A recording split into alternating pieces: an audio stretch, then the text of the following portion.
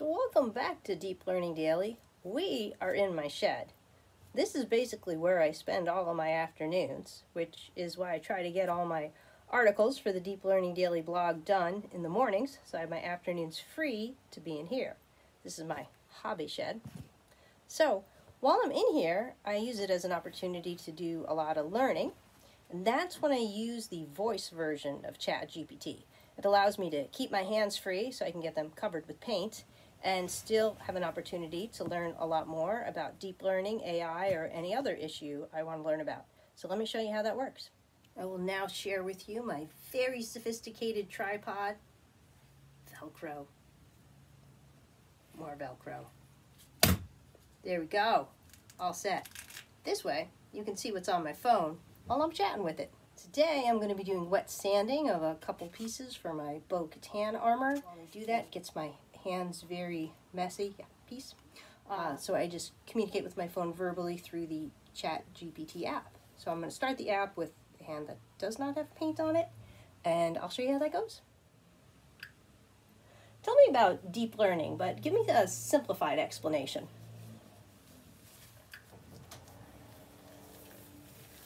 Deep learning is a type of artificial intelligence that mimics the way the human brain works.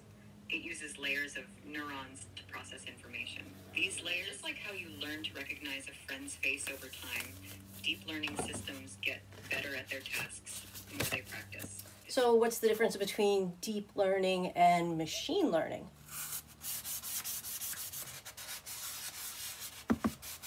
The main difference between deep learning and machine learning. Oh, my hands are filthy. Are now is now here, so I can go back because there was some other vocabulary there that I want to investigate. I think it was linear regression, uh, which I'm not that strong on. So that would be the next conversation that I would have is what is linear regression, and the conversation would go on and on and on from there. But uh, it's a great way that I could keep learning while I'm enjoying my hobby and continuing to expand my knowledge of deep learning and I love learning this way. You can be learning about anything. I just happen to be interested in deep learning. Isn't this exciting? We're in my kitchen now, and I'm going to show you how we are going to use our ChatGPT mobile app to make some vegan brownies. Mm-mm-mm. So, I need to find out how I can make vegan egg using common ingredients I have here.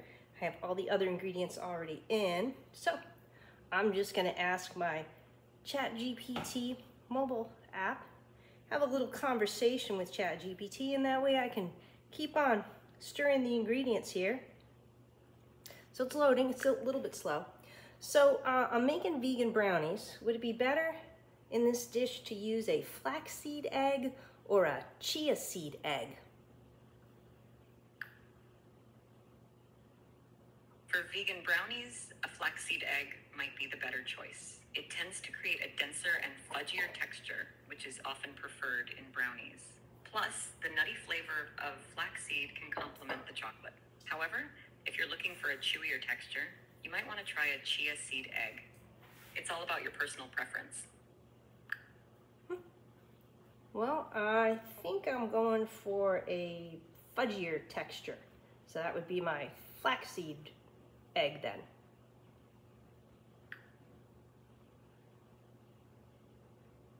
That sounds like a great choice. The flaxseed egg should help give your brownies that deliciously dense and fudgy texture. When it comes to sanding armor pieces for Star Wars costumes, there are a few shortcuts and techniques that can help make the process more efficient.